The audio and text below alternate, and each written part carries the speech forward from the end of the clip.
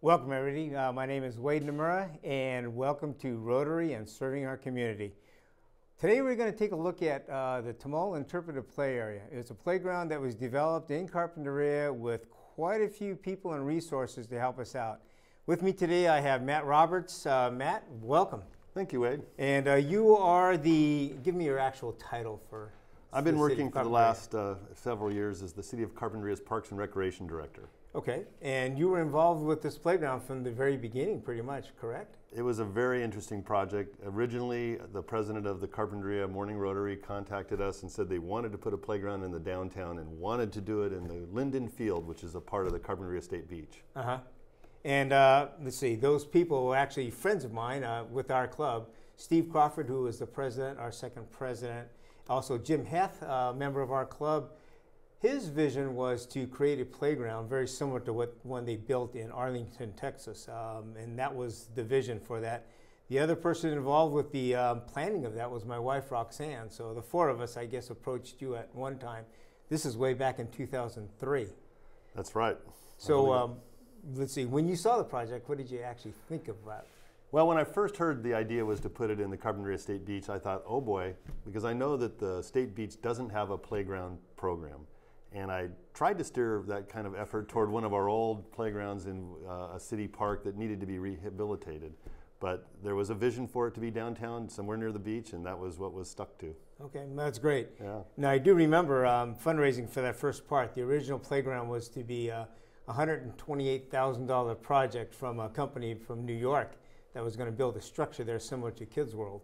Did you get to see that design, by the way? I did. I remember we had that design charrette at the school mm-hmm. and had a lot of children involved and talking about what they would like to see in a new park and a new playground. Got a lot of great ideas. And uh, that was developed for, for, a little while, but we had to get the state beach personnel to come along with the idea. and that person was uh, Rich Rojas, who we hoped to have had here today, but he was pretty busy.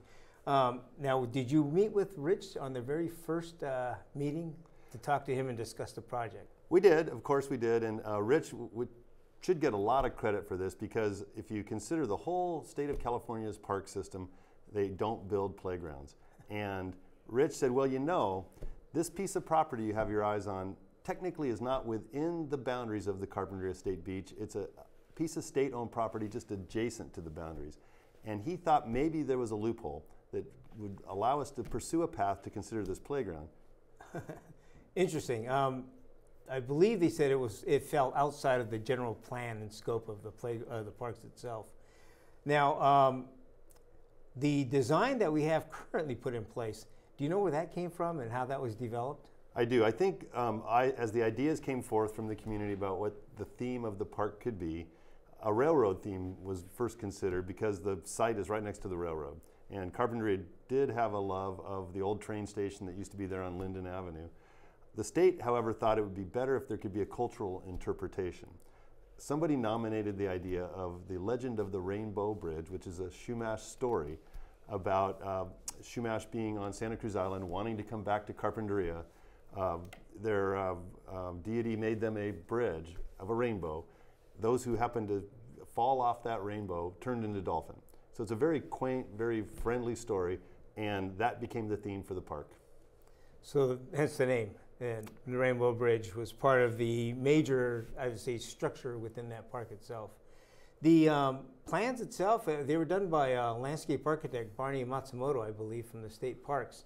Do you know when he was brought on board to start working with that project? I do. It was very original. Um, when the idea was accepted to explore for the legend of the Rainbow Bridge, Barney was the first one to take a crack at it, and he provided a footprint of a park that had certain design and interpretive elements in it that um, was accepted as the vision. And then we hired, excuse me, we hired a local landscape architect firm to give us more construction details. Uh, that was Veneta Associates. It was a gentleman, uh, was the lead there, uh, Guillermo Gonzalez. Mm-hmm. And he did a gr- great job along with Barney. Um, produced a construction set of plans that we went through the whole permit process to get. And it was a challenging permit process, but ultimately we ended up with what you see out there today. That's great. Um, now we talk about the plans and the time. Do you remember offhand how long that took?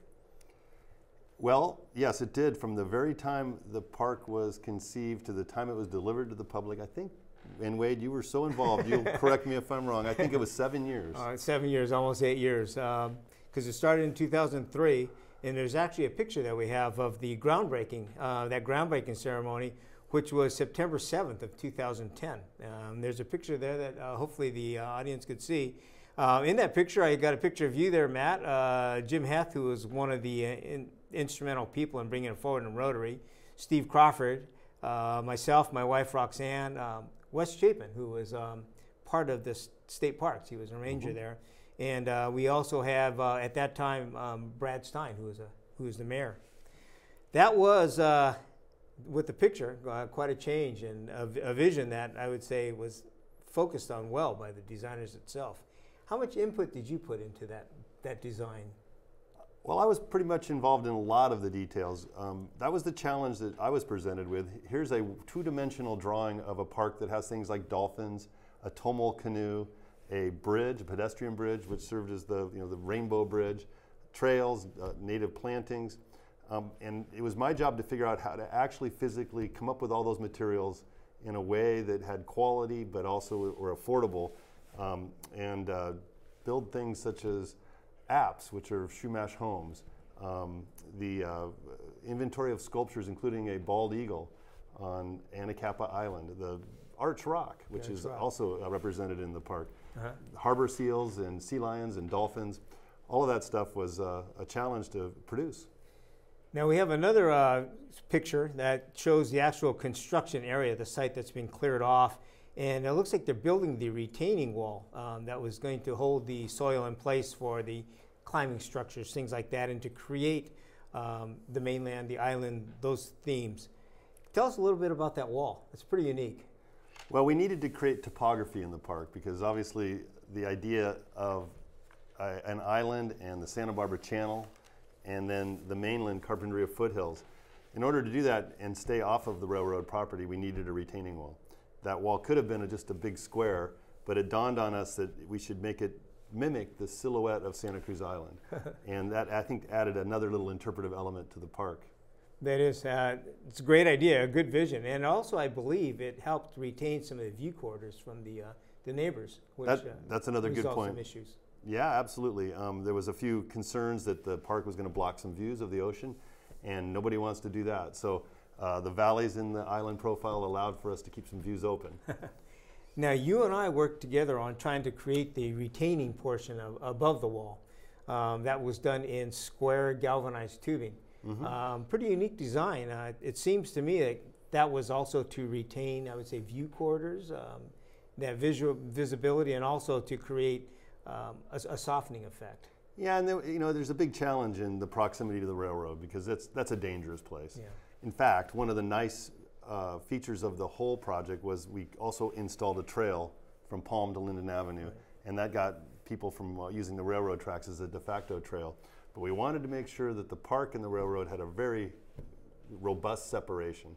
So the thing you're talking about, the fence, a no-climb fence made out of square tubing, um, also with its silver color, it's sort of intended to mimic a fog bank or, or some fog over the islands right, on, a, right. on a morning. So Which it does. does. Does a great job of that. Um, the no glare factor on the shade side, shadow side too, um, remarkable. Good effect there.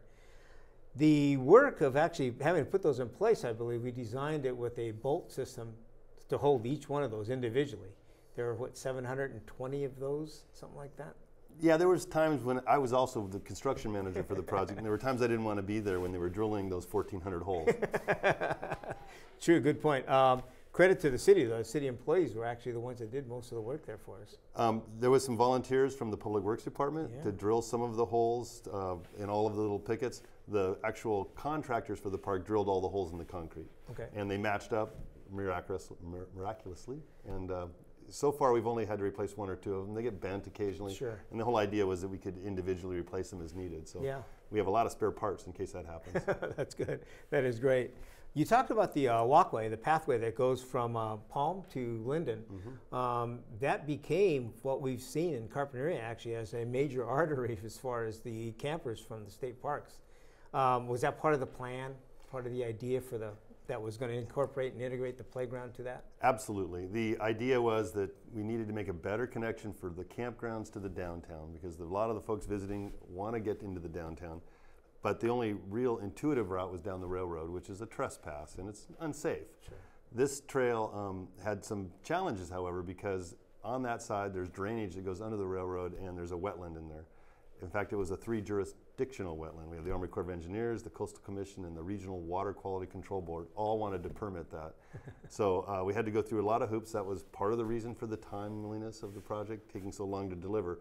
But in the end, what we have is a boardwalk, about a 300 foot long boardwalk that goes over an area that's flooded in the winter.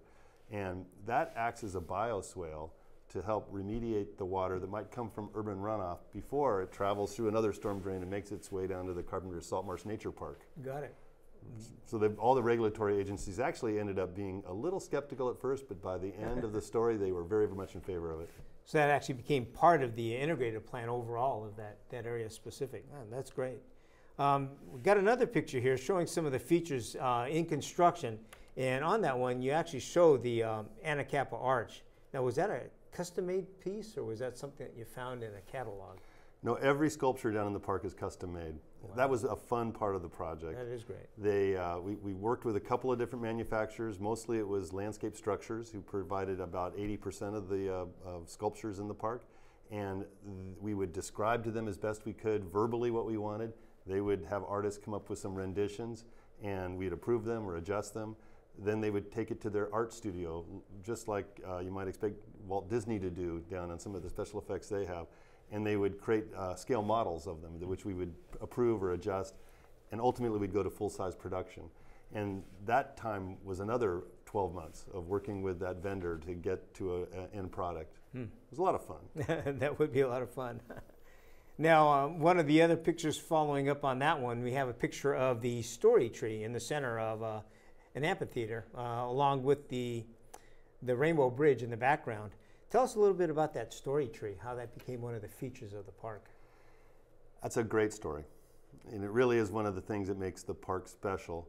The um, as you may know, Carpinteria was named by Gaspar Portola, who came through Carpinteria uh, as an explorer in about 1769. And he saw the Chumash making their plank canoes on the beach using the tar that comes out as a natural uh, seep on the beach as the caulk to seal the seams of the canoes. And he named Carpinteria Carpinteria, which is the Spanish word for carpenter shop. It's thought that there's a tree in Carpinteria Creek called the Portola sycamore that was alive when he came 300 and some odd years ago. So we took cuttings from that tree, excuse me, and rooted them uh, to create new trees. And one of those trees is the story tree in the park. So there's reason to believe that tree was alive when Carpinteria was named Carpinteria, wow. and the Chumash were in, in, part of their zenith of their culture. Um, and it's a way to carry that spirit and that culture and that um, love of the past into the park. That is pretty neat. That's a great story. Um, now we have also the um, bridge in the background. You want to tell us a little bit about that? Well, the bridge is the Rainbow Bridge. Um, we try to keep the deck of it painted in rainbow colors, but the use of the park is so great that those colors fade. Um, but we did take some leaves from the actual the, the parent tree and we pressed them. My daughter Claire was involved. I had her help me nice. as a volunteer.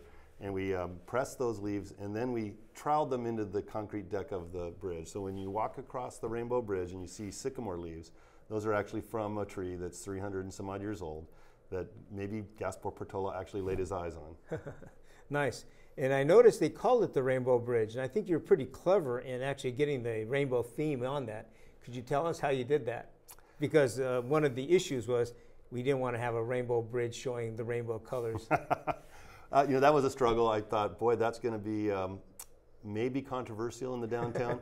and I, I want to go back just a second because that was one of the um, stress points of this project. I've done several parks in Carpinteria and several trail projects and some ball fields and some other small park amenities. But this is in the downtown, and it had to be done with a high quality. The idea of expressing the rainbow bridge at first thought was, well, we'll just paint the rails in rainbow colors. And I really worried about how that was going to come out. The park project had to go through all the review boards, like the architectural review board. now, were you on the? yes, I was. yeah, so you were one you. of the reviewers. Uh, may- maybe you uh, sequestered yourself. I, for I had to. I was actually part of the presentation Um, program. So the solution was not to put it on the uh, vertical surfaces, but the horizontal ones. So the deck itself is where the rainbow is expressed. Nice. Now, uh, what else is interesting is part of the, um, I say, the theme of the park is that the bridge connects up two bodies. Um, one is the mainland, and then the other side is one of the islands, correct? That's representative of Santa Cruz Island. Okay. good. That's in keeping with the story. And um, one of the reasons why that actually occurred in the construction itself, uh, with the walk- walkway and trail going up, had to do with ADA compliance, correct? Another challenge in the park was that the state and you know state law also, but the state was state of California Parks Department was very very, um, um, you know serious and very very interested in that ramp being ADA compliant. And the best way we could do that is to keep it um, in some places under five percent of a grade and other places under eight and a third percent of a grade. And we had to reject the contractor's work a couple of times because they missed it by just a little bit. It was a challenging circular spiral trail that had to meet um, ADA requirements. Now, the contractor, I would like to bring him up because uh, that company was very helpful in, in creating um, our vision. His name was uh, Peter Lapidus, and uh, any comment on him? I know he was great to work with at our end of it.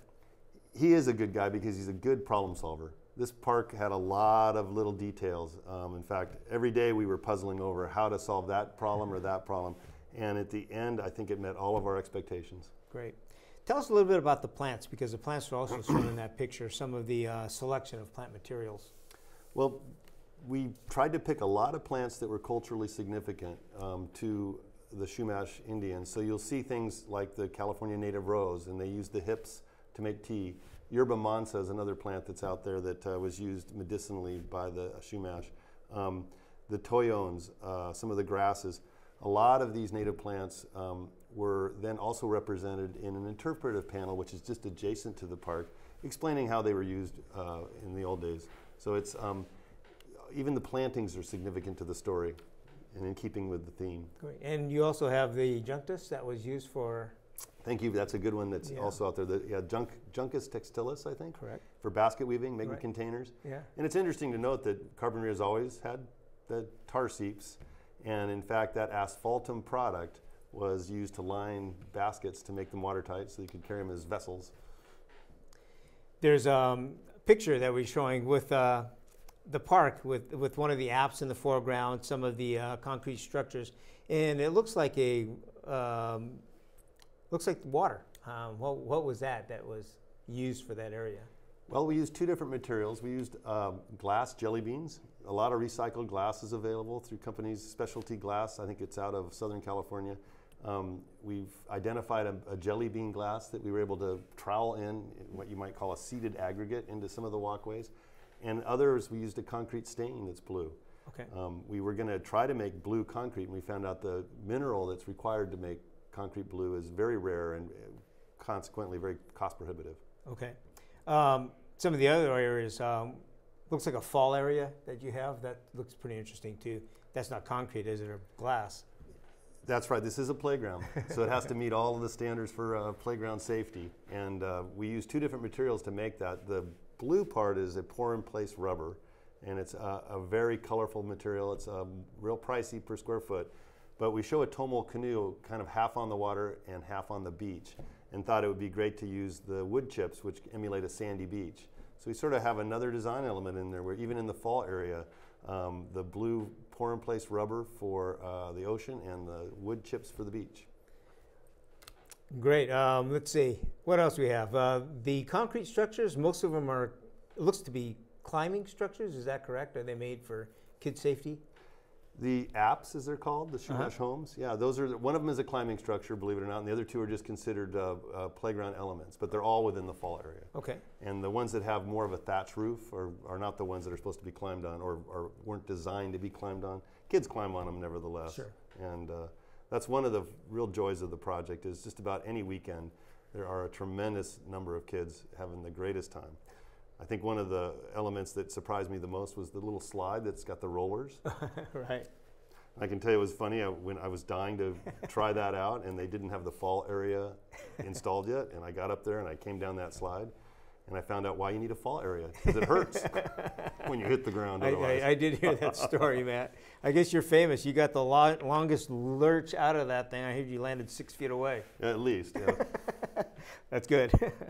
um, the structures that you selected, uh, for example, the slide, um, some of the other slides we have there, and structures on that slope, because the slope was limited, Mm-hmm. is that one of the reasons why you selected those specific items? It was because this roller slide will perform on a very gradual incline. So we were trying to, these are kind of berm mounted slides rather than freestanding slides. And in that area, the roller one just fit it to a T. I didn't think I was even going to find one. I remember seeing one for the first time up in Monterey where they have one at the Dennis the Menace Park, I think. And uh, I thought, well, that probably has not made anymore because somebody probably hurt themselves a long time ago. but lo and behold, there it was in one of the slide catalogs, so we went with it. That's good. Um, also, uh, with the apps, uh, as one of the examples of uh, safety, children's safety, I noticed that they're raised up so you could see around and underneath them. That's right. Okay.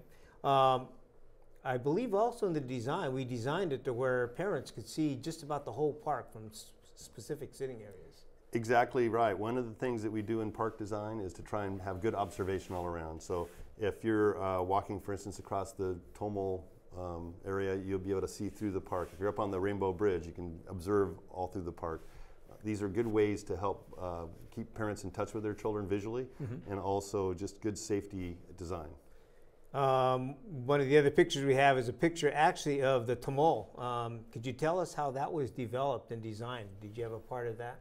Well, we did go up and look very closely at known examples of the Tomol, and the Santa Barbara Natural History Museum has one in their auditorium as an example.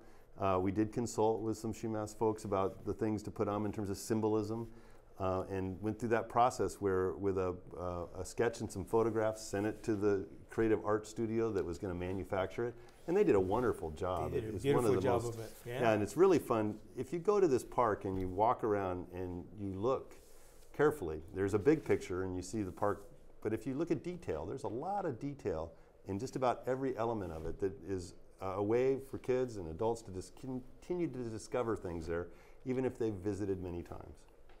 Now, the park itself, uh, originally I said it started out as a $128,000 project. I think by the time we were completed with that, it ended up close to a million dollars.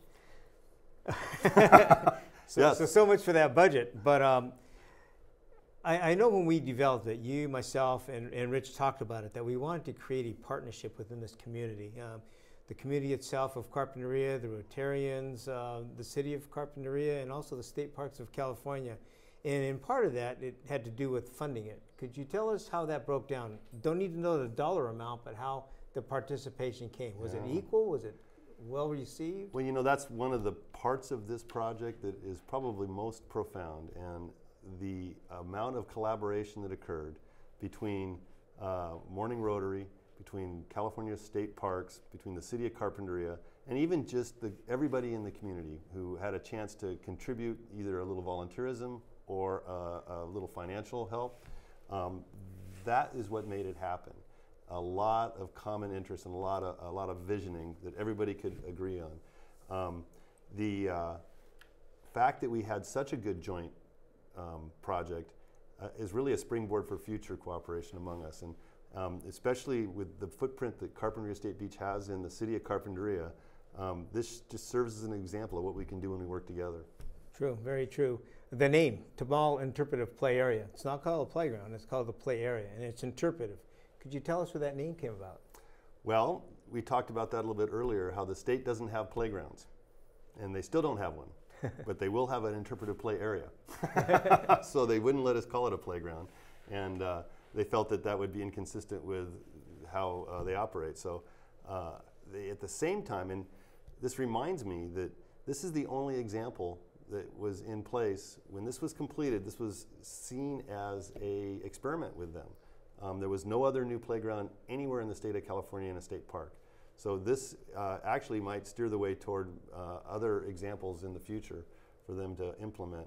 So we're kind of proud of that. That's a pretty neat thing to be the cutting edge uh, neat, with yeah. that department. And the items, all of the elements of the park itself were specific to uh, historical facts. In other words, this was all part of Carpinteria's history and heritage. That's right. I think it fits really well in the downtown. Again, I was very concerned that, boy, if this doesn't go well or it doesn't look right. but the acceptance and uh, the appreciation of it was universal just right out of the box. Um, everybody loves it. And the uh, element that it adds to the downtown, just for families to enjoy, um, is uh, really now I realize it was much more of a need than I thought. So back to the original people who conceived this in Rotary, who um, wanted this to happen, they were, they were right. this was an excellent project. Great. Um, I understand too that there, this is actually being used as a model, uh, not only in state, well, in state parks, but also nationally in other areas, Pacific, because of the success of this. Have you seen any or heard of any uh, it was impressive to me when the landscape structures catalog came out the next year. They had a full spread feature on this park. oh, so, is that right? Yes, it was in the middle of their catalog. it's an example of what they can do. Oh, that's great. Yeah. Very good. so that was an endorsement, I think. And I believe also one thing unique about this park, uh, even though it is a, a playground type, is that there are multi-generation of people using it. In other words, you have parents, grandparents, kids of all ages actually enjoying this park. Uh, I think that was one of the successes also of it locally.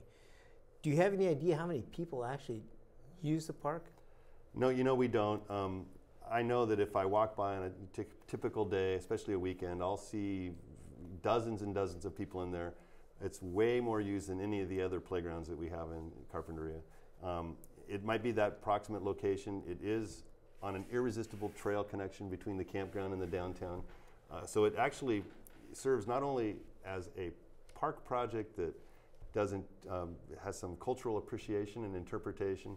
It has a stormwater benefit quality with the bioswale that feeds the Salt Marsh Park. It has a rail safety benefit because it gets people off the railroad, and now they have a much safer trail to use. Um, it also has an economic uh, vitality element because it's connecting a lot of uh, tourists to our little downtown business district. All of those things combined uh, make it a big winner. And uh, the last picture we have is a picture of the, of the uh, sidewalk itself, um, having his bridge, uh, bricks actually used for uh, acknowledgments. I believe that is the fundraising component of that, how that's used. Well, uh, Matt, I'd like to thank you for your time there and effort. Uh, I know it was a long project. originally started 2003. In 2010 was the groundbreaking it was the following year that we actually opened it up, and it's been very successful. Everybody talks about it. I've seen people come on the trains for that. So uh, once again, thank you for that. You did well, an thanks. outstanding job, and it's been great partnering with you. Yeah, thank you for Rotary for taking it on as a sponsorship our, project. Our pleasure. Well, thank you everybody for joining us on uh, the Tomol Interpretive Play Area show. I, I like you all. If you have a chance, swing on by, take a look at that, and enjoy it yourself. It was one of those great projects that we've done, and we've really enjoyed it. Matt and myself and most of the other people involved take a lot of pride in how that came out. Thank you, everybody. We'll see you soon.